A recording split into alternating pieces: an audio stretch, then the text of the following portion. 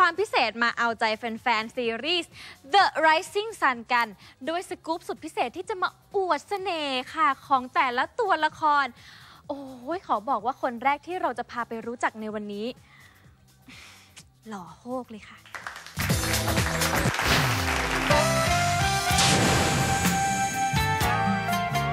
ประเดิมตัวละครซีรีส์ที่ทุกคนรอคอย The Rising Sun รอยรักหักเหลี่ยมตะวันคนแรก โอนิสกะ ทาเคชิ พระเอกมาริโอ เมาเรอร์ทายาทตระกูลนักรบโอนิสกะ ที่มีอิทธิพลมากที่สุดในเมืองโยโกฮาม่า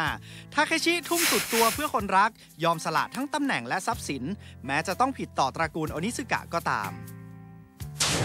ได้เล่นเป็นทาเคชิโอก็ชอบ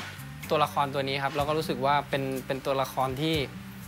มีอะไรให้เล่นเยอะดีครับ แล้วก็เป็นคนที่เจอเรื่องราวอะไรหลายอย่างมากครับ เป็นคนที่เวลารักใครจะรักจริง แล้วก็จะเจ้าบทเจ้ากรมากๆครับ พับนก พับดาว พับอะไรอย่างเงี้ยครับเขียนกรอะไรอย่างเงี้ยครับ อันนี้ผม